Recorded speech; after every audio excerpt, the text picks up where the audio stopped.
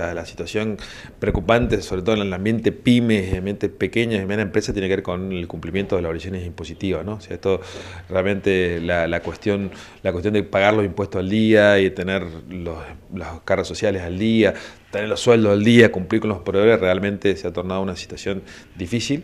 Eh, viene, viene muy complicado, la cadena de pagos se viene cortando, hay un alto índice también de cheques rechazados, con problemas de financiación muy grandes, con tasas altísimas.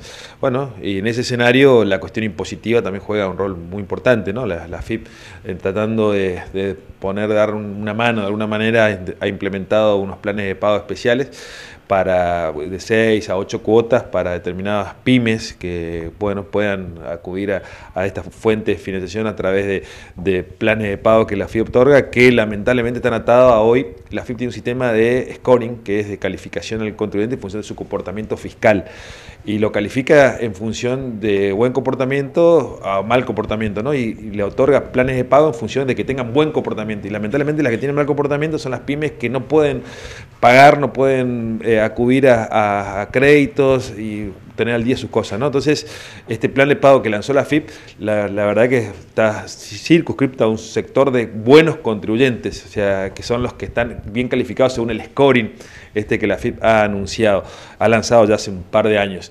Eh, ahora el administrador de, de eh, la FIP anunció un nuevo plan de pago que no tendría en cuenta el scoring, que justamente tiene que atender a la situación de empresas que no están bien calificadas porque lamentablemente no pudieron cumplir con sus obligaciones tributarias, teniendo en cuenta el contexto económico en el cual vivimos y más en esta, en esta zona, en esta región.